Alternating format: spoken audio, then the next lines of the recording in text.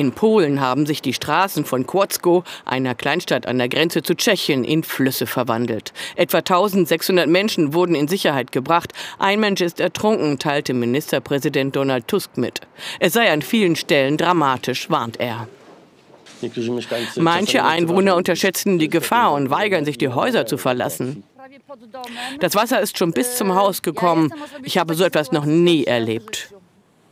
Auch in der Slowakei wird die Hochwasserlage schwieriger. Es soll weiter regnen, viele Straßen sind wegen umgestürzter Bäume nicht nutzbar, die Pegel steigen weiter.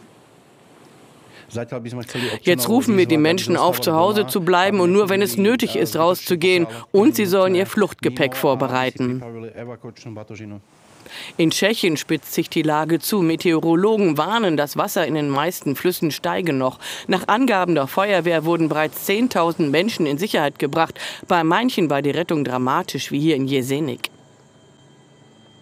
In Rumänien ist die Situation besonders belastend. Fünf Menschen sind aufgrund des Hochwassers gestorben.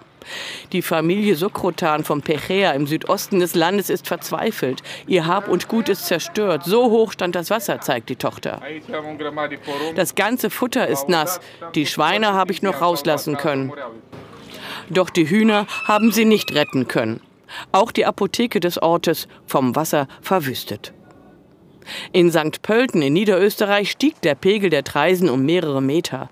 Rettungskräfte pumpten Wasser aus diesem Pflegeheim und stellten die Stromversorgung sicher. Ganz Niederösterreich wurde zum Katastrophengebiet erklärt.